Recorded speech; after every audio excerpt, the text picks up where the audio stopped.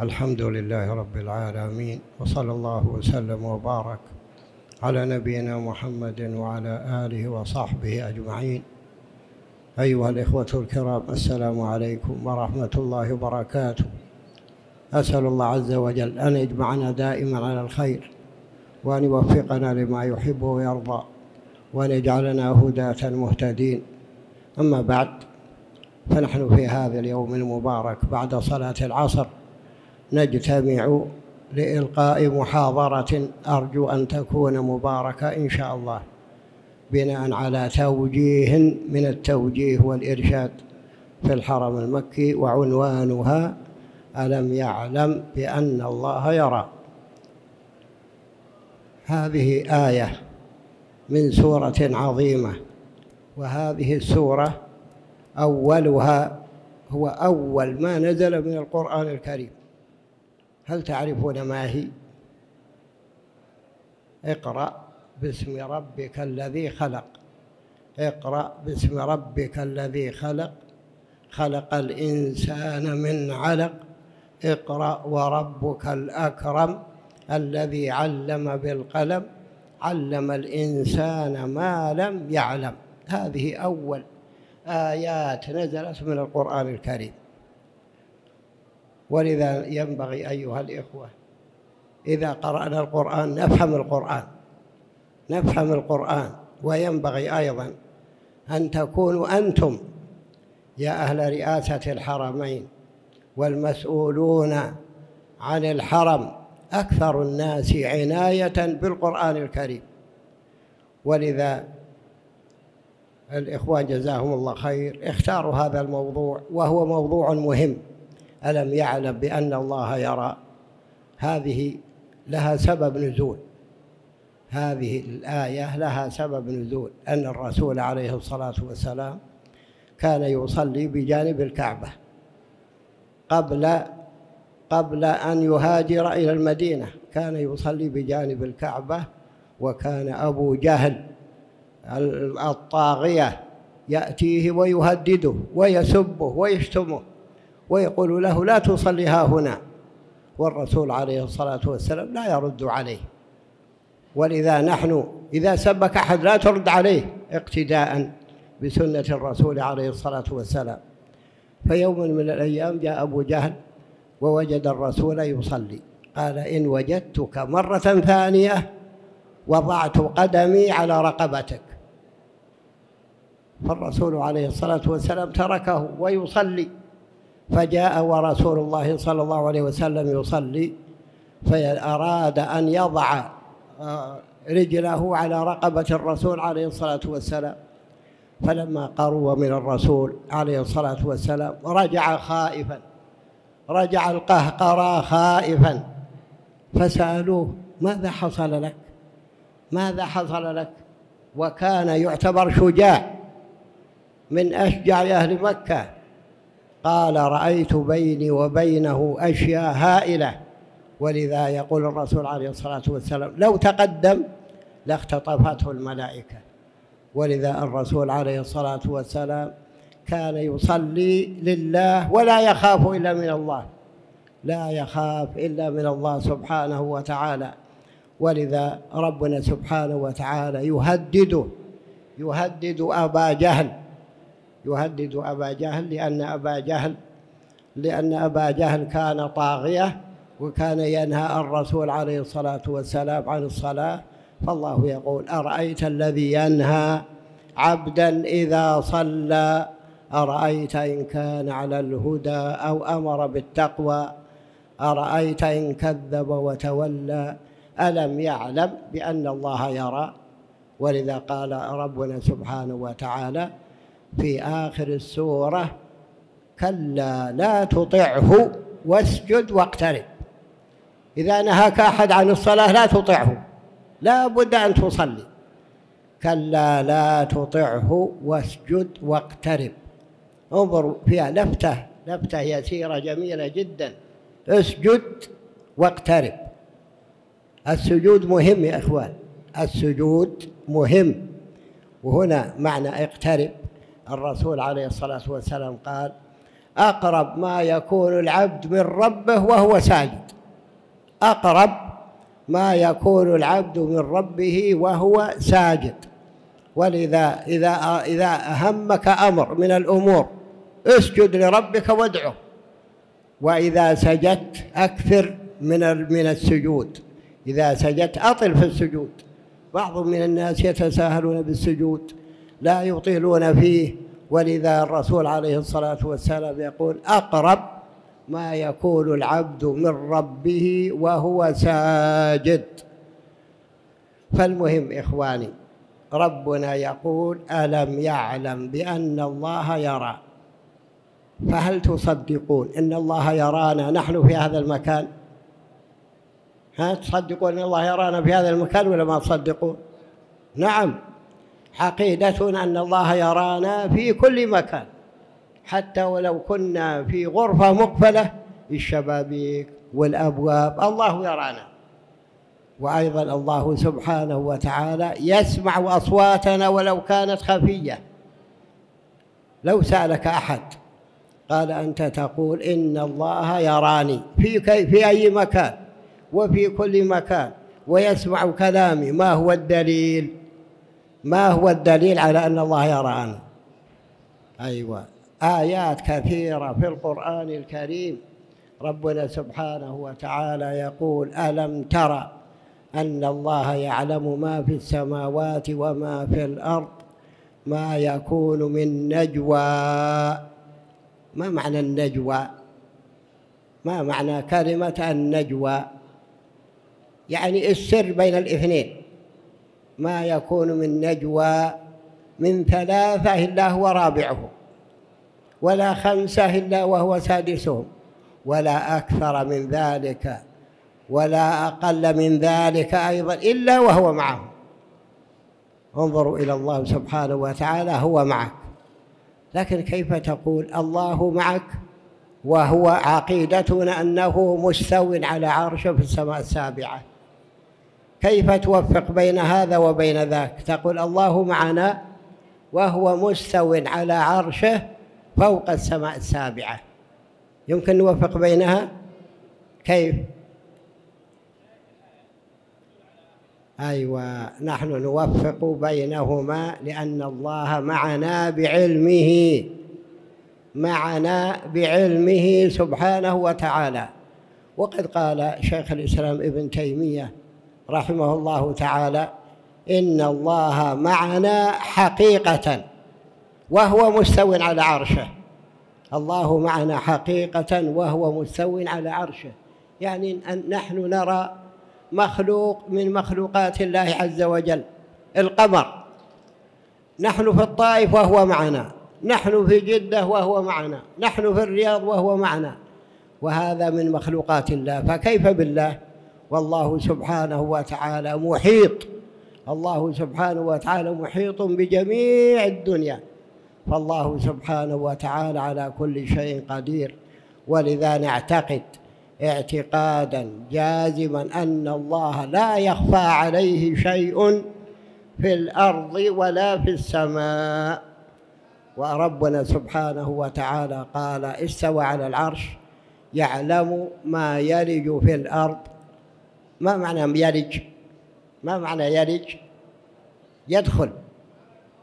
يلج في الأرض وما ينزل من السماء وما يعرج فيها وهو معكم أينما كنتم. فهذه الآية يا إخوان ترد على الحلولية الذين يقولون الله في كل مكان. خطأ. الله في كل مكان بذاته لا. الله سبحانه وتعالى مستو على عرشه فوق السماوات السبع. لكن علمه في كل مكان. الذين قالوا إن علمه إن إنه معنا بذاته في الأرض تركوا بعض القرآن. لكن المفروض أن الإنسان يأخذ بجميع القرآن. فالقرآن كله متوافق. ليس فيه اعتراض وليس فيه تناقض. فربنا سبحانه وتعالى بين لنا أنه مستو على عرشه وهو معنا ولا يخفى عليه شيء في الأرض ولا في السماء. وهذا يا أخوان يدلنا يدلنا على أن المسلم عنده مراقبة ذاتية. ما دام أن الله هو الذي خلقك الله هو الذي رزقك الله هو الذي يحييك الله الذي يميتك لا بد أن تخاف منه. صحيح ولا لا؟ لا بد أن تنفذ أوامره. لا بد أن تجتنب نواهيه. ولذا لو كنت موظفا في أي مكان لا بد أن تنفذ الأوامر كما أمرت. كما أمرت. لماذا؟ لأن الله يراك. ما تستطيع أن تخالفه. لو كنت جندي عسكري في المعركة لا بد أن تنفذ الأوامر لأن الله يراك. لو كنت في بيتك مكلف بعمل ما يمكن تعمل أوامر لا ترضي الله عز وجل. لماذا؟ لأن الله يراك. فيجب عليك أن تستحي من الله عز وجل. لا تخلف الوعد لأن إخلاف المواعيد من صفات المنافقين. الإنسان إذا حدد موعد يأتي في هذا الموعد أو يعتذر أو يكلم سأتأخر خمس دقائق أتأخر عشر دقائق وهكذا. لا بد أن يحافظ الإنسان على الوعد لأن إخلاف الوعد من صفات المنافقين كما بين الرسول عليه الصلاة والسلام أن المنافق إذا وعد أخلف وإذا اؤتمن خان وإذا خاصم فجر وإذا عاهد غدر فيجب على المسلم أن يكون وفيا. مثلا أن تكون أنت في وظيفة وكتبت عقد بينك وبين هذه الشركة التي أنت موظف فيها لا بد أن تفي بأوامرها بمواعيدها أيضا بحضورها بالقيام بالعمل الذي كلفت به. وإذا لم تستطع هذا العمل اعتذر لا استطيع هذا العمل لا أستطيع أن أقوم به لا أستطيع أن أعمله كما ينبغي. ولذا ينبغي للمسلم يا إخوان أن يعلم أن الله يراه وأن الله يسمع كلامه يراه حتى في الظلمات يراه سبحانه وتعالى في الظلمات. فكر في هذه الدنيا فكر اسأل نفسك لماذا خلقني الله عز وجل في هذه الدنيا مدة وأموت؟ لماذا خلقني ربي في هذه الدنيا عشرين سنة مئة سنة مئتين سنة ثم أموت؟ ربنا سبحانه وتعالى أخبرك في القرآن الكريم الذي خلق الموت والحياة إيش؟ ليبلوكم. ما معنى يبلوكم؟ يختبر. نعم. ليبلوكم يختبركم. يعني الله خلقنا في هذه الدنيا يختبرنا. الله وضعنا في هذه الدنيا للاختبار. الذي خلق الموت والحياة ليبلوكم. أيكم أحسن عملا. في آية أخرى أيضا. في أي سورة؟ كثير. كثير في السور التي تدل على أن وجودنا في هذه الدنيا اختبار. في سورة الإنسان في سورة هل أتى على الإنسان حين من الدهر؟ الذي خلق الإنسان من نطفة أمشاج إيش؟ نبتليه يعني نختبره. فربنا سبحانه وتعالى أخبرك أنه خلقك في هذه الدنيا ليختبرك. ثم أيضا أنت في هذه الدنيا بين لك ربنا سبحانه وتعالى إن الاختبار يبدأ من سن التكليف. يبدأ من سن التكليف يكون الاختبار. وما قبلها يكون لك أجر في الأعمال الصالحة التي تعملها. ولذا ربنا سبحانه وتعالى أوجدنا في هذه الدنيا ليختبرنا. وبين لنا أن الإنسان إذا نجح في الاختبار له جزاء وهو الجنة. وإذا رسب له جزاء آخر. بين لنا ربنا سبحانه وتعالى أنكم مختبرين. ما هو الاختبار؟ اختبارنا بأي شيء؟ الاختبار بالتكاليف الشرعية. الله يختبرنا بالتكاليف الشرعية. الصلاة الصيام الزكاة بر الوالدين معاملة الآخر يعني باختصار المعاملة مع الله والمعاملة مع خلقه. هذا اختبار. وبين لنا ربنا سبحانه وتعالى كيفية المعاملة مع خلقه وكيفية المعاملة معه سبحانه وتعالى في القرآن الكريم. أفضل كتاب. أفضل كتاب أنزل من الله عز وجل في, في هذه الدنيا هو القرآن الكريم. أفضل من التوراة أفضل من الإنجيل أفضل من الكتب التي أنزلت على الرسل كلها. وأيضا هذا القرآن أنزل على أفضل الرسل وهو محمد بن عبد الله عليه الصلاة والسلام. فهنيئا للمسلم الذي يتبع القرآن آه، هو الذي هو أفضل كلام ويتبع الرسول محمد عليه الصلاة والسلام الذي هو أفضل الرسل عليه الصلاة والسلام. فربنا سبحانه وتعالى بين لنا أنه يختبرنا في هذه الدنيا. لكن أيضا ربنا سبحانه وتعالى من رحمته بنا أنه أخبرنا أنه يختبرنا وهو يرانا. ثم أيضا أخبرنا أنه كلف بنا ملائكة. ملائكة يكتبون ما نقول وما نفعل. وإن عليكم لحافظين كراما كاتبين يعلمون ما تفعلون.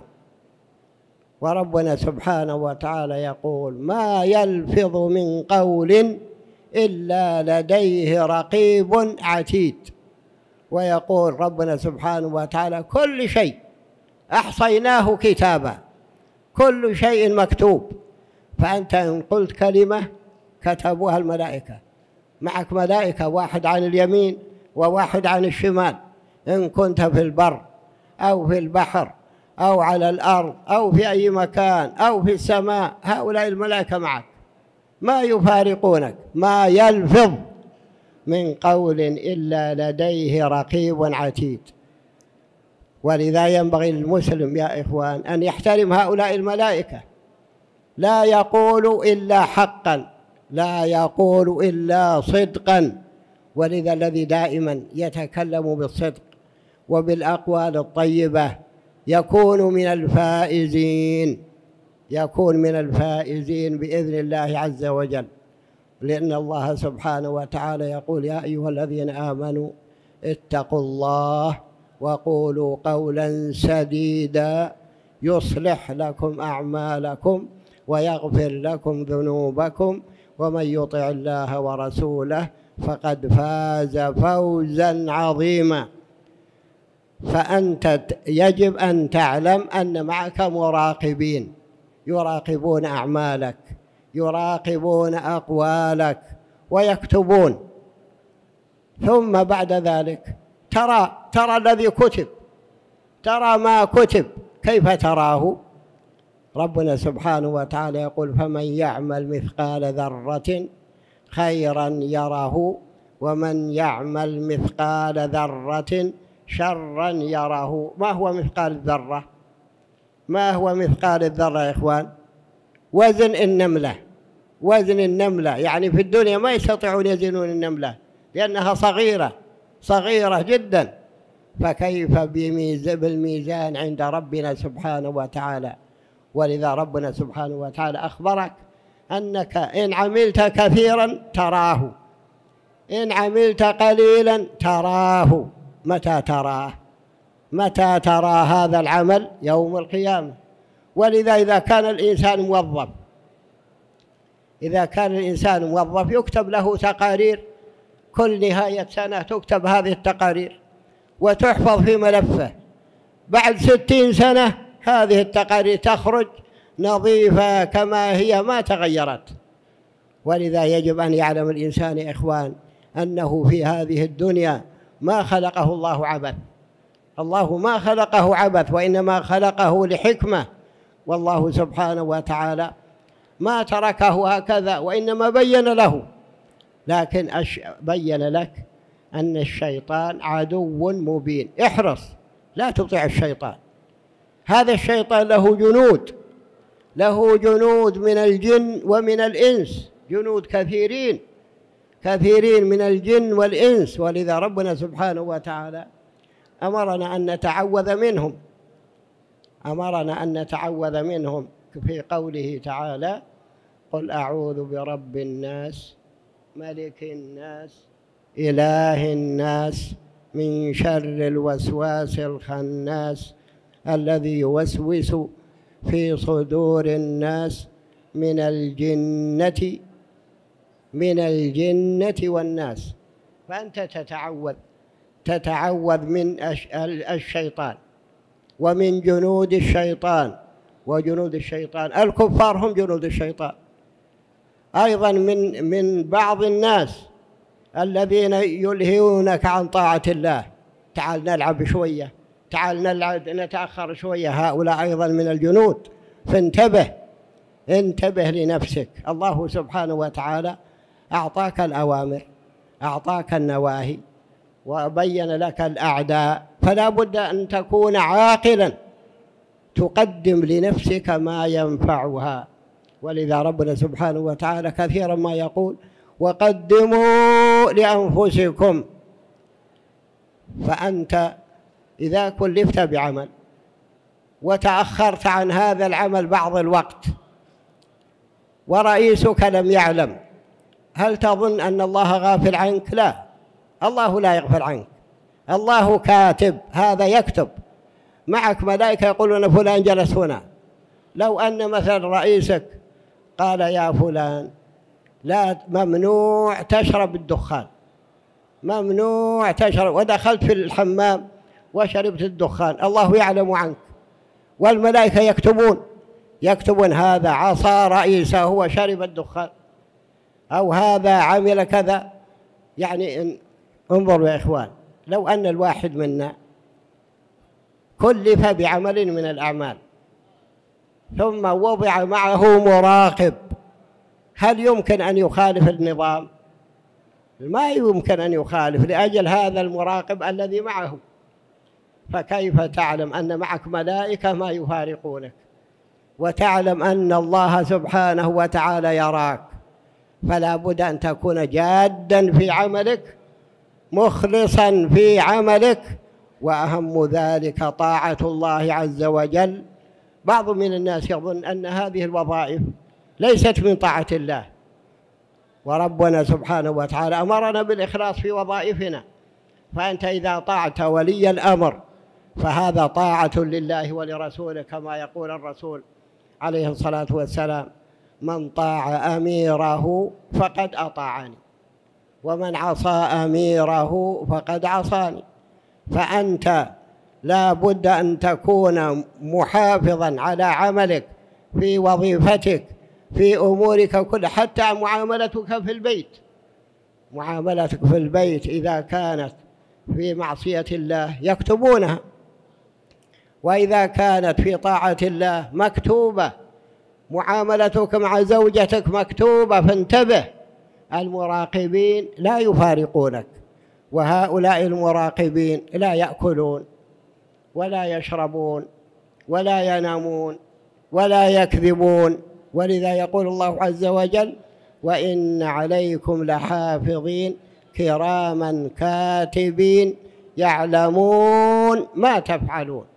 ولذا يجب على الإنسان أن ينتبه. لا يكون غافل في هذه الدنيا. لا يكون غافلا عن مستقبله. المستقبل يا إخوان مهم. هذه الدنيا كما أخبر الرسول عليه الصلاة والسلام أنها لا تساوي جناح بعوضة. البعوضة ما تساوي شيء. فكيف بجناحها؟ ولذا ينبغي الإنسان أن يقدم لنفسه في الآخرة. يقدم لمستقبله. هذا المستقبل هذه الدنيا زرع تزرع فيها. فإن زرعت خيرا تجده وإن زرعت شرا تجده فأكثر من زرع الخير. حتى مقابلك مقابلتك مع صديقك هذه أيضا صدقة. الرسول عليه الصلاة والسلام بين أن الكلمة الطيبة صدقة. يعني مثلا لو لو قابلت زميلك أو أي واحد وقلت له السلام عليكم لك أجر ولك صدقات لكن الشيطان يأتيك الإنسان ويقول لا لا تقول السلام عليكم صباح الخير مساء الخير. والسلام السلام تحية أهل الجنة. السلام هو الذي تعلمه آدم من الملائكة. السلام عليكم ورحمة الله وبركاته. إذا قلت السلام عليكم لك عشر حسنات. إذا قلت السلام عليكم ورحمة الله لك عشرين حسنة. إذا قلت السلام عليكم ورحمة الله وبركاته لك ثلاثون حسنة. فالشيطان يا إخوان يردنا. تحية أهل الجاهلية. الجاهلية المشركين الكفار في العرب. ما كانوا يعرفون السلام وإما كانوا يقولون عموا صباحا. أو عموا مساء. وهذه أيضا تحية الكفار. الكفار يقولون صباح الخير مساء الخير. لكن أنت أيها المسلم تحيتك ما هي؟ السلام عليكم. ولذا ورد في حديث أن تحية الكفار إما بالرأس وإما باليد وإما بالإنحناء وهذه كلها ليست للمسلمين. فإنحناء الرأس هكذا ليس تحية. لا بد أن تتلفظ. لا بد وإذا قل بيدك وكان أخوك بعيد تتلفظ لو رفعت يدك. أما أن تكون التحية رفع اليد هكذا لا لا بد أن يكون معها سلام. والواحد يهز رأسه يخفض رأسه أيضا ليس بسلام ولا تحية. فالتحية كما أخبرنا الله عز وجل تحية أهل الجنة ماذا يقول الله؟ تحيتهم فيها سلام. ولذا يجب على المسلم يا إخوان أن ينتبه معه ملائكة معه مراقبة طول حياته حتى يموت. هؤلاء الملائكة يكتبون ولذا الملائكة يكتبون حتى يوم الجمعة يأتون على أبواب المساجد ويكتبون الأول فالأول. جاء فلان وجاء فلان وجاء فلان الساعة كذا وجاء فلان الساعة كذا. فانتبه لنفسك والله سبحانه وتعالى يقول لنا دائما وقدموا لأنفسكم. وش تقدم لنفسك خير ولا شر؟ ما دام أنك ستراه قدم لنفسك الخير. كل عمل صالح قدمه كل عمل فاسد استغفر الله وتب إليه منه. وأبعد عنه. فنحن نعلم يا إخوان أنه من رحمة الله عز وجل أنه خلقنا في هذه الدنيا وأنه كلفنا بتكاليف كثيرة تكاليف كثيرة كلفنا بها وأنه أخبرنا أن فيه مراقبة هو يرانا والملائكة الذي معنا يروننا وأيضا هناك شهود يشهدون علينا شهود يشهدون علينا. وأخبرنا الله عز وجل بذلك. من هم الشهود؟ من هم الشهود؟ الشهود لا يفارقونك. يشهد يفا لا يفارقونك أبدا. أكثر من الملائكة. أكثر من التزام الملائكة معك. وهم يدك تشهد عليك. رجلك تشهد عليك. حتى جلدك. الجلد الذي تنظفه كل يوم. وتعتني به يشهد عليك يوم القيامة. ويوم يحشر أعداء الله إلى النار. حتى قال سبحانه وتعالى وقالوا لجلودهم لم شهدتم علينا؟ لم شهدتم علينا؟ قالوا أنطقنا الله. الله الذي أنطق هذا اللسان لحمة. يستطيع أن ينطق هذه اليد. يستطيع أن ينطق هذا الإصبع. فهم يعاتبون جلودهم. يعاتبون جلودهم لما شهدتم علينا؟ قالوا أنطقنا الله الذي أنطق كل شيء وهو خلقكم أول مرة وإليه ترجعون وما كنتم تستترون. أن يشهد عليكم سمعكم ولا أبصاركم ولا جلودكم ولكن ظننتم أن الله لا يعلم كثيرا مما تعملون. وذلكم ظنكم الذي ظننتم بربكم أرداكم فأصبحتم من الخاسرين. فانتبهوا يا إخوان. يدك رجلك لسانك كلها تشهد عليك يوم القيامة. فلا تقول إلا خيرا ولا تفعل إلا خيرا لأنك بين أمرين. لأنك أنت بين أمرين إما أن تقول خير ويكتب لك أجر. تفعل خير ويكتب لك أجر. أو تقول شرا أو تفعل شرا ويكتب عليك إثم. نسأل الله العافية. فربنا سبحانه وتعالى بين أن فيه شهود من جسدك. ما تستطيع أن تتخلى عن هؤلاء الشهود. أيضا فيه شهود آخرين يشهدون عليك يوم القيامة. من هم؟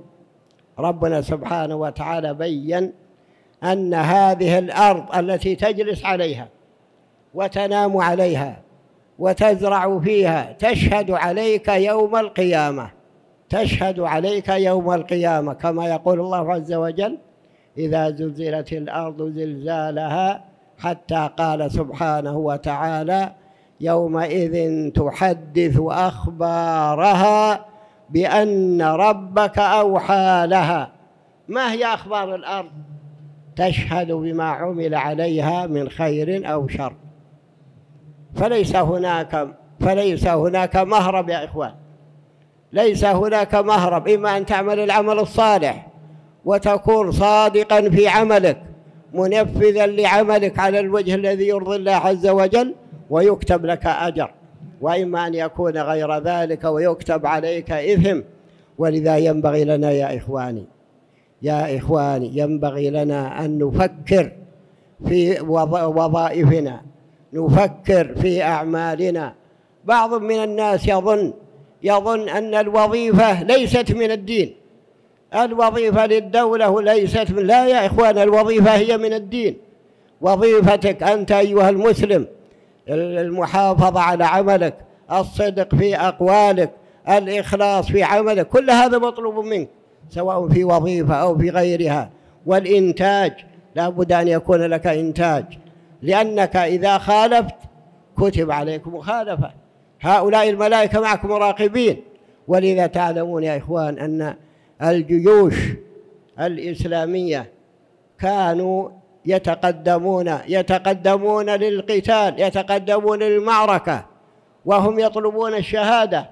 لماذا؟ لأنهم يعرفون أن الله شجعهم على هذه الشهادة وأنه بين لهم أنهم أحياء. ولذا لا يحتاجون إلى مراقبين. أما الكفار لا. الكفار يرب كانوا يربطونهم بالسلاسل حتى لا يهربون لأنهم ما, ما يريدون الموت. المسلم يريد الموت وأما الكافر لا يريد. ولذا المسلم ولله الحمد في المعارك الإسلامية. يعلم أنه له واحدة من الحسنيين إما الشهادة وإما, وإما الفوز. ولذا يا إخواني ينبغي للمسلم أن يكون عاقلا وأن لا يكون غافل عن مستقبله. لا يكون غافلا عن مستقبله. اعلم أن الله يراك. ثم أيضا إخواني عندنا شيء مهم وخاصة نحن المتعلمين الذين نقرأ ونكتب. عندنا شيء مهم جدا جدا. ما هو؟ القرآن الكريم. أفضل كلام. أفضل كلام. من, من هو؟ كلام من هذا القرآن؟ من هو كلامه؟ كلام الله عز وجل الذي خلقك ورزقك وهو رسالة لكل واحد. رسالة لك. فهل قرأته؟ كل واحد يقول نعم قرأنا القرآن. هل فهمت معانيه؟ كثير من يقول لا والله ما فهمت إلا قليل. لماذا؟ ما هو السبب؟ لو كنت لو كان عندك اختبار في الجامعة تحفظ وتختبر وتفهم. فإذا كان هذا القرآن الله سبحانه وتعالى أنزله إليك وأرسل إليك الرسول أفضل الرسل بهذا القرآن الكريم. وبين لك أن هذا القرآن شاهد. شاهد لك أو شاهد عليك. أنت ستختبر في هذا القرآن. ماذا فعلت في هذا القرآن؟ هل فهمت القرآن؟ هل عملت به؟ ولذا يقول أحد أحد الدعاة حفظه الله يقول كنت في مجلس من المجالس. وكانوا كانوا كلهم يتكلمون في بيع أراضي بيع سيارات بيع أشياء أخرى. كلام طويل عريض فأنا استأذنت أن أتكلم معهم عشر دقائق. فقالوا تفضل. فقلت يا إخواني أريد أن أسألكم سؤال. قالوا ما هو السؤال؟ قال من يحفظ منكم سورة قل هو الله أحد. يرفع أصبعه. يقول عددهم كثير. عددهم كثير الموجودين. كلهم قالوا نحن نحفظ قل هو الله أحد. قلت إذا أريد أن أسألكم سؤال. قالوا تفضل. ما هو السؤال؟ قال ما معنى قول الله عز وجل؟ الله الصمد. الله الصمد. يقول ما أحد رفع منهم إلى اثنين أو ثلاث. الباقين ما يعرفون معنى الصمد. كيف يقرأ؟ قل هو الله أحد ولا يفهم معانيها. لا بد أنه يفهم معانيها ويقرأ التفسير. ولذا يقول قلت لهم سؤال ثاني. ما هو السؤال الثاني؟ قال من يحفظ منكم قل أعوذ برب الفلق. كلهم قالوا نحفظ. قل أعوذ برب الفلق. قال ما معنى قوله؟ ومن شر غاسق إذا وقب. يقول ما أحد منهم رفع يده. وهذا عيب يا إخوان عيب والله عيب. لو جاء كتاب من أبوك لو جاء كتاب من أبيك أو من أخيك أو من صديقك لا بد أن تقرأ وتفهم ما فيه.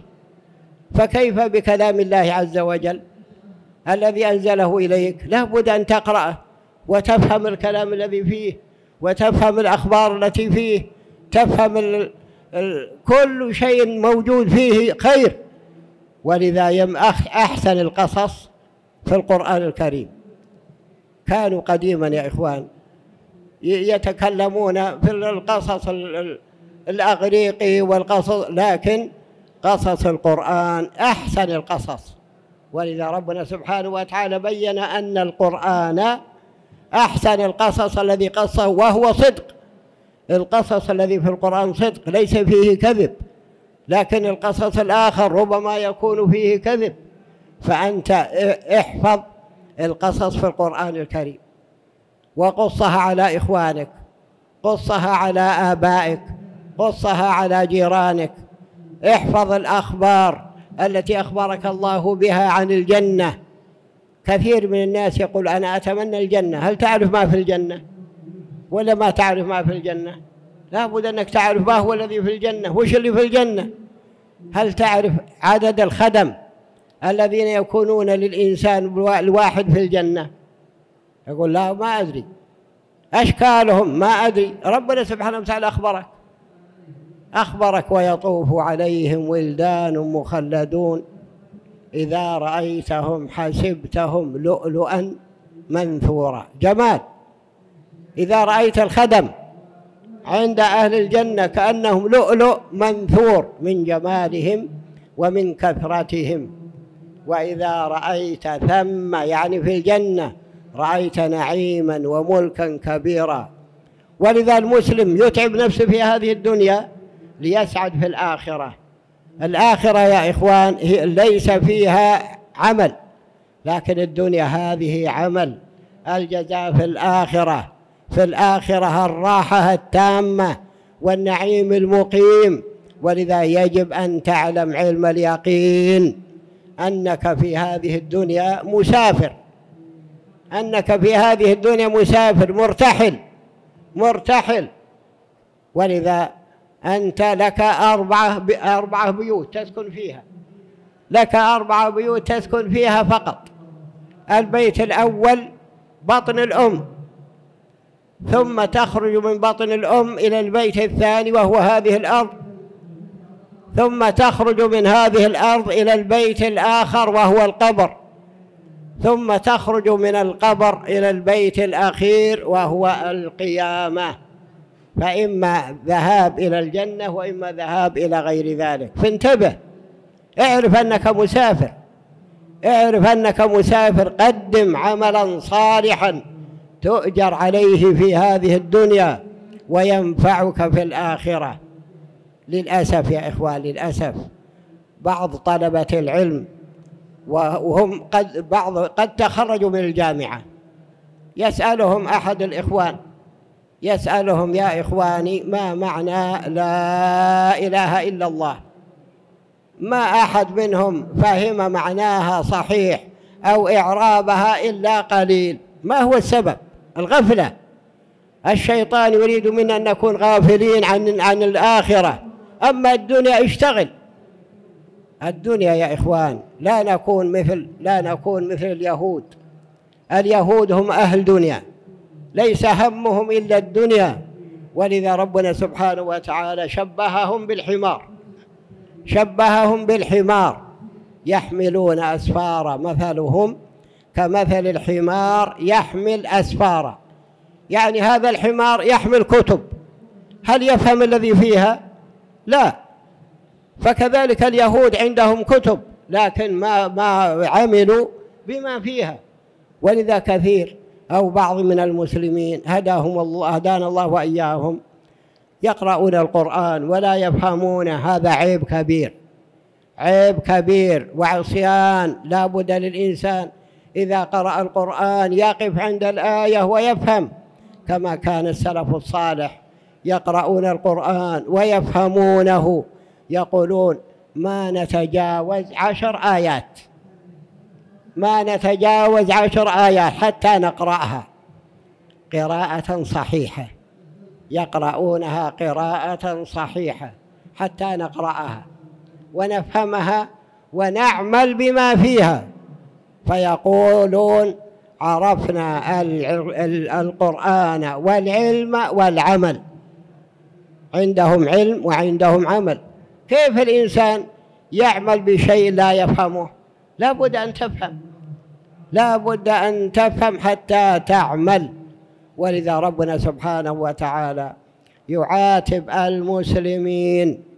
ألم يأن للذين آمنوا أن تخشع قلوبهم لذكر الله وما نزل من الحق ولا يكونوا كالذين أوتوا الكتاب من قبل فطال عليهم الأمد فقست قلوبهم وكثير منهم فاسقون. فوصيتي لإخواني الموعظة والله الموعظة الصحيحة والشفاء الصحيح والهدى والرحمة كلها في القرآن. تبحث عنها تجدها. تجد الشفاء وتجد الرحمة وتجد ما معنى الرحمة هنا؟ النعمة. النعمة. تجد الرحمة وتجد الشفاء وتجد الهدى وتجد الموعظة في القرآن الكريم. إذا قال الله سبحانه وتعالى لك ألهاكم التكاثر. شغلتك الدنيا لأجل تجمع كثرة الأموال. إذا حصلت مليون تقول أريد المليون الثاني. إذا حصلت المليون الثاني تقول أريد المليون الثالث. ألهاكم التكاثر حتى زرتم المقابر؟ ولذا كان يقول أمير المؤمنين عمر بن عبد العزيز رضي الله عنه لما جاءته الوفاة قالوا له يا أمير المؤمنين أوصي لأولادك. قال لا أوصي لهم. قالوا لماذا لا توصي لهم وتترك لهم أموال يستفيدون منها؟ قال لهم إن كانوا صالحين فالله يتولى الصالحين وإن كانوا غير ذلك فلست معينا لهم. على الفساد نسأل الله العافية. ولذا ربنا سبحانه وتعالى يقول في آخر سورة التكاثر ثم لتسألن يومئذ عن النعيم. أنت في عافية هذا نعيم. أنت في أمن هذا نعيم. أنت في رغد من العيش أنت في نعيم. ولذا أنت ستسأل عنه يوم القيامة. الرسول عليه الصلاة والسلام يوما من الأيام خرج من بيته ما أخرجه إلا الجوع. من هو منا يا إخوان الذي خرج من البيت وهو جائع؟ كلنا ما نطلع من البيت إلا ونحن بشباع يلا لك الحمد. خرج من البيت وهو جائع. فوجد أبا بكر وعمر. فسألهما ما الذي أخرجكما؟ قال أخرجنا الجوع يا رسول الله. قال وأنا أخرجني الذي أخرجكما. فذهب إلى بيت رجل من الأنصار وأعطاهم عذق من التمر. وذبح لهم ذبيحة فشربوا وأكلوا. وقال الرسول عليه الصلاة والسلام هذا من النعيم الذي تسألون عنه يوم القيامة. فنحن لا نشرب الماء البارد ونأكل اللحم ونأكل الخبز ونأكل كل شيء فسنسأل عنه يوم القيامة. ولذا ربنا سبحانه وتعالى أمرنا أن نطيعه أن نطيعه ونشكره على هذه النعمة. كما قال عز وجل فليعبدوا رب هذا البيت الذي أطعمهم من جوع وآمنهم من خوف فأنتم حافظوا على هذه النعم. المحافظة على هذه النعم بشكر الله عز وجل. ما هو الشكر؟ ما هو الشكر؟ يعني الشكر يا إخوان بعض من الناس يظن أن الشكر قوله شكرا. الشكر يكون باللسان. تحمد الله وتشكره. الشكر يكون بالقلب. تعتقد أن هذه العافية وهذه النعم وهذا التوفيق كله من الله عز وجل. وأيضا بالجوارح. لا تظلم أحد. لا تضرب أحد. لا تمشي إلا في خير. وتنفذ أوامر الله عز وجل. لأن الله سبحانه وتعالى قال لموسى وهارون قد أجيبت دعوتكما فاستقيما. هذا هو الشكر يا إخوان. هذا هو الشكر أن الإنسان إذا أنعم الله عليه بنعمة بوظيفة أو أي شيء من هذه النعم العظيمة يستقيم على طاعة الله. ينفذ أوامر الله عز وجل ينفذ أوامر الله عز وجل ويكون مطيعا لله. مطيعا لرسوله مطيعا لولاة الأمر في طاعة الله عز وجل لأن الله يقول وأطيعوا الله وأطيعوا الرسول وأولي الأمر منكم فالإنسان لا بد أن يطيع ولي أمره. إذا أمرك رئيسك بأوامر ليس فيها معصية لله لا بد أن تنفذها. تحرص على أداء عملك بكل إخلاص. لماذا؟ لأنك لأنك تحاسب عنه حسابين حساب الوظيفة وحساب من الله عز وجل يوم القيامة. وأنت إذا أخلصت في عملك ونفذته كما أمرت والله تكون فائزا عند ولي الأمر الذي كلفك وتكون أيضا فائزا عند الله عز وجل. فأنت إذا أرضيت الله عز وجل أرضيت خلق الله عز وجل. وكانت لك الشهادات العالية. لكن إذا أرضيت ولي الأمر وعصيت ربك فقد خالفت. فقد خالفت. وانتظر انتظر الشيء الذي يأتيك. ولذا ربنا سبحانه وتعالى يقول ويل للمكذبين. كم آية ربنا سبحانه وتعالى يقول ويل للمكذبين. هذه الغفلة الغفلة هذه سلاح الشيطان. لا تكون غافلا عن نفسك. لا بد أن تحافظ على نفسك. وإذا أردت أن تعمل أي عمل لا بد أن تعلم أن الله ينظر إليك. الملائكة معك يكتبون الأرض تشهد عليك أعضاءك تشهد عليك. فاعمل صالحا وابتعد عن السيء. هذا هو العاقل يا إخوان. هذا هو العاقل الذي يريد النجاة في هذه الدنيا وفي الآخرة. أما أنك ترضي جانبا وتترك جانبا فلا لا بد إذا دخلت في عمل نفذ ما أمرت به. ولذا نسأل الله عز وجل أن يوفقني وإياكم لأعمال الصالحة. اقرأ القرآن. افهم القرآن. اشتر كتاب تفسير؟ اشتر كتاب تفسير؟ واقرأ فيه كل يوم. اقرأ كل يوم صفحة صفحتين. افهم الكلام الذي فيها. لأن التفسير القرآن يا إخوان القرآن ليس باللغة الإنجليزية وإنما هو بلسان عربي مبين. نفذ ما فيه. اقرأ سنة الرسول عليه الصلاة والسلام الأحاديث حتى ولو كنت لا تقرأ ولا تكتب. عندك ابنك عندك أخوك عندك إمام المسجد عندك طلاب التحفيظ عندك آخرين. المهم أنك ينبغي أن تحفظ وأن تفهم. لا يستطيع الإنسان أن ينفذ إلا إذا فهم. لا يستطيع الإنسان أن أن ينفذ الشيء إلا إذا فهمه. انظروا يا إخوان لو أنك مثلا جندي من الجنود وكلفت بعمل هل تستطيع أن تقول ما أفهمه؟ لا بد أن يقول يقول لك كذا وكذا افهم. حتى ولو كنت لا تقرأ ولا تكتب. لا بد أن تفهم الأوامر. لا بد أن تفهم النواهي وتطبقها كما أمرت. وإلا لا تدخل فيها. هكذا يجب على الإنسان يا إخوان. مثلا إذا أردت أن تصلي. إذا أردت أن تصلي الصلاة لمن؟ لله عز وجل. لأن الله أمرك بالصلاة. وأخبرك أن عليها ثواب عظيم. الله يعطيك ثواب عظيم على هذه الصلاة. فأنت إذا صليت وكان وراءك رئيسك في العمل ينظر إلى صلاتك وسيخبرك بعد قليل صلاتك صحيحة أو صلاتك فاسدة. كيف تكون تصلي؟ تصليها مضبوطة ولا لا؟ نعم مضبوطة. فأنت تصلي الصلاة الله ينظر إليك والملائكة معك. هل تسرع فيها؟ تنقرها نقر وتذهب عندي عمل عندي عمل أذهب إليه. لا. صل الصلاة تماما. لأن الرسول عليه الصلاة والسلام يقول صلوا كما رأيتموني أصلي. صلوا كما رأيتموني أصلي. ولذا بعض من الناس يسرع في الصلاة عندي شغل. لا تسرع في الصلاة.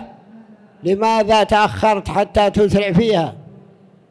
صل الصلاة مع الجماعة وأتقن الصلاة فإن الله يراك والله يحاسبك عليها. بعض من الناس يظن أن الصلاة أداء. الصلاة ليست أداء فقط وإنما هي عبادة. عبادة لا بد أن يتقنها الإنسان في القيام في الركوع في السجود. يخبرنا أحد الإخوان يقول مرة كان فيه فيه رجل واعظ يعظ الناس ويقول لهم اللهم صل وسلم على نبينا محمد اللهم ويكثرون من الصلاة على رسول الله صلى الله عليه وسلم. وأيضا إذا دعا يقولون آمين آمين آمين. فأحد الإخوان يقول بجانبه رجل شايب كبير. هذا الكلام يقول كان في الرياض. فلما انتهى الكلام سأل الشايب قال يا شايب أنت تكثر تقول اللهم صل وسلم على نبينا محمد.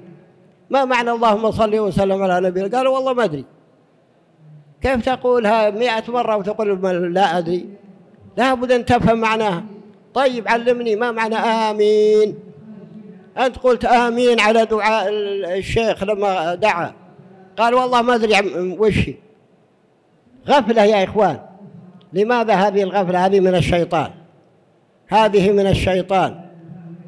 أنا مرة أسأل أحد الشعراء كان يتكلم في قصيدة طويلة ولما انتهى منها سالي قال فهمت قلت والله القصيدة طويلة وجميلة لكن ما فهمتها. قال فشايب ولا تفهم قصائدنا قلت أنت هل فهمت القرآن الكريم؟ هل فهمت القرآن الكريم؟ قال لا والله ما فهمته. قل لماذا فهمت الشعر ولم تفهم كلام الله عز وجل؟ وأنت شباب. افهم كلام الله أولا ثم نفهم كلامك بعد. فالمهم يا إخوان نحن في غفلة. نحن في غفلة عن القرآن الكريم. أنا أرجو من اليوم نبدأ بداية صحيحة مع القرآن الكريم. اشتر كتاب التفسير؟ وفي كتاب تفسير أيضا رخيص بخمسين ريال. بخمسين ريال رخيص وجميل جدا. وتوزعه الرئاسة هنا ولله الحمد. اقرأ فيه وافهم معانيه القرآن مع التفسير. اقرأه وافهم معانيه واعمل بما فيه. ليس المهم القراءة فقط وليس المهم الفهم فقط المهم العمل. لأن الله سبحانه وتعالى يقول كتاب مبارك. هذا القرآن مبارك. فلا بد أن نفهمه ونتدبره كما أمر الله عز وجل. الذي لا يتدبر القرآن مخالف لما أمر الله عز وجل. ولذا الرسول عليه الصلاة والسلام كان يقول يا رب إن قوم اتخذوا هذا القرآن مهجورا. يا رب إن قومي اتخذوا هذا القرآن مهجورا. هجروه من الناس من يقرأ القرآن ما يقرأ القرآن اليوم الجمعة. أو يقرأ القرآن إذا دخل المسجد في بيته ما يفكر في قراءة القرآن. وهذا خطأ. من الناس إذا قرأ القرآن يقرأه بسرعة. وإذا قرأ وأطال في القراءة تجده يتثاب. لماذا تثاب الشيطان لا يريد منك أن تطيل في القراءة. فالإنسان يا إخوان لا بد أن يقرأ ولا بد أن يفهم. وابدأ من أول القرآن واقرأ التفسير. ما يمضي عليك سنة إلا وقد انتهيت من التفسير كله كاملا. ولذا مرة الشيخ عبد الرحمن السيس حفظه الله كان في مكان مع الشباب فسألهم هل تحفظون القرآن؟ قالوا يا شيخ القرآن صعب ما نستطيع أن نحفظه. لأن عندنا واجبات مدرسية وعندنا أشياء. قال هل يستطيع الواحد منكم أن يحفظ كل يوم آية؟ قالوا إيه كل يوم آية سهل. قال ابدأوا احفظوا. احفظ كل يوم آية فقط. وبدأوا الآن الآن له كلام هذا له عشر سنوات. الذين استفادوا من كلامه وبدأوا الآن حفظ القرآن كله. يحفظ آية يحفظ آيتين يحفظ ثلاث حتى حافظوا القرآن كله ولله الحمد. ولذا لا بد أن يكون الإنسان عنده عزيمة. لا بد أن يكون عنده عزيمة يعمل. عندك وقت؟ هذا الجوال لا يشغلك كثير. بعض من الناس تجد طول وقته وهو في الجوال لا. استخدم هذا الجوال في القرآن الكريم في قراءة مقطع صفحة كاملة وأنت جالس احفظها. لكن لا تقرأ القرآن في عملك لأنه يؤخرك عن عملك لكن اقرأه في غير وقت العمل. فالمهم يا إخواني أوصي نفسي وأوصيكم أنتم وأوصوا أنتم إخوانكم الآخرين بطاعة الله عز وجل. وبطاعة ولاة أموركم. حتى ولو كان ولي أمرك في الشركة. شركة. يعني للأعمال أخرى. لا بد من الطاعة. فلا بد من الطاعة. لا بد من الإخلاص في العمل. لا بد من إتقان العمل. سواء كان الأمور دينية أو أمور دنيوية. لا بد من الإخلاص فيها وإتقانها. لأن المسلم يا إخوان مطلوب منه الإخلاص. والإتقان كل الاثنين مهمة. أخلص في عملك وأتقنه. لا يكون عملك إلا صالحا. وعليك بالكلمة الطيبة. فإن الكلمة الطيبة صدقة. الكلمة الطيبة صدقة. وأنتم في مكان مبارك يفد إليه كثير من الناس من كل مكان. أحسنوا إليهم ولو بالكلمة الطيبة. ولو بالسلام عليكم. أو بكلمة طيبة أو تبين له ما ينفعه. رأيته مثلا مثلا يصلي صلاة ليست ليست صحيحة. انصحوا الرسول عليه الصلاة والسلام جاءه رجل دخل المسجد وصلى ركعتين. ثم جاء إلى الرسول عليه الصلاة والسلام فسلم عليه وقال له الرسول عليه الصلاة والسلام ارجع فصل فإنك لم تصلي. هو صلى ركعتين لكن صلاة ما تنفع. ولذا إذا صليت أتقن الصلاة. تأن في ركوعها تأن في سجودها تأن في قيامه طمأنينة طمأنينة. لا بد أن يكون الإنسان مطمئنا. بعض من الإخوان سأله أحد الإخوان هنا يقول ما معنى سبحان ربي العظيم؟ قال الله عظيم. طيب ما معنى سبحان؟ ما يعرف معنى سبحان. ما يعرف معنى سبحان ربي الأعلى يقول الله أعلى. كيف أعلى؟ ما أدري.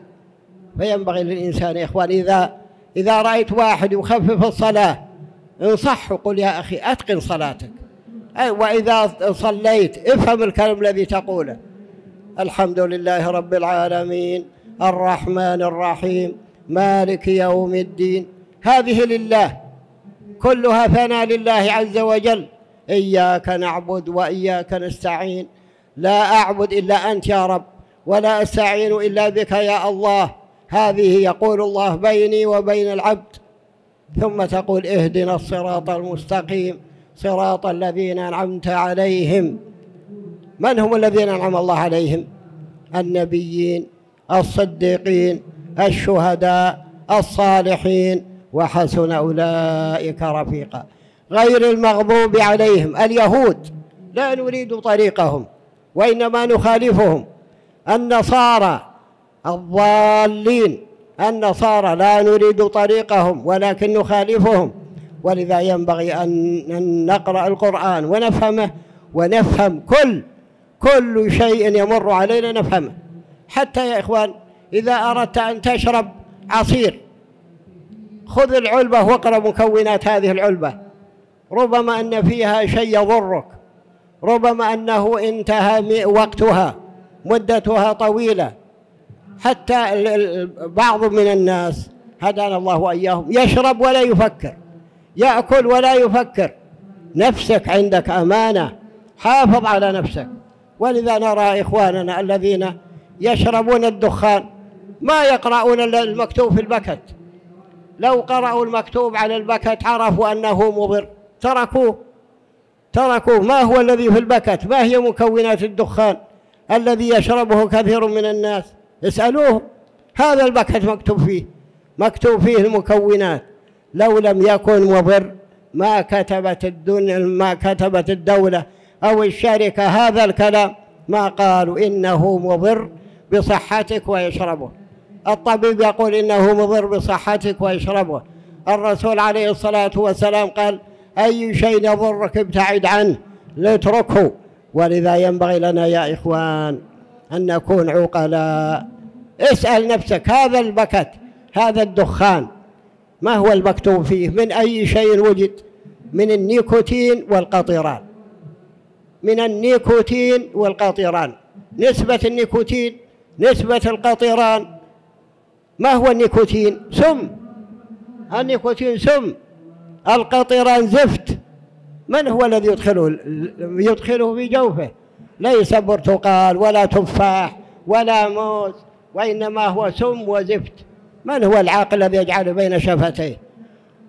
لو أنك أعطيت ولدك كل يوم عشرة ريال ويأتي ولدك عند الباب ويحرق فيها تعطيه مرة ثانية عشرة؟ لا. فربنا كل يوم يعطيك مئة ريال. هل تجعلها في هذا الدخان تحرقها وتحرق نفسك؟ لا بد يا إخوان من التفكير وصيانة أنفسنا وصيانة أقوالنا عن الشيء الذي يضرنا. وأهم شيء كما قلنا في أول كلمة اعلم بأن الله يرى ما قال يراك؟ قال يرى كل شيء. الله سبحانه وتعالى يرى كل شيء. فانتبهوا في كل مكان الله يراك. الملائكة معك يكتبون. فأسأل الله عز وجل أن يوفقني وإياكم لما يحب ويرضى. ونترك الفرصة لمن كان عنده أسئلة إلى قرب الغروب. إلى قرب الأذان المغرب. إذا كان عند أحد أسئلة أسأل الله أن يوفقني وإياكم لما يحب ويرضى. ونجعلنا هداة مهتدين. ربنا آتنا في الدنيا حسنة وفي الآخرة حسنة وقنا عذاب النار.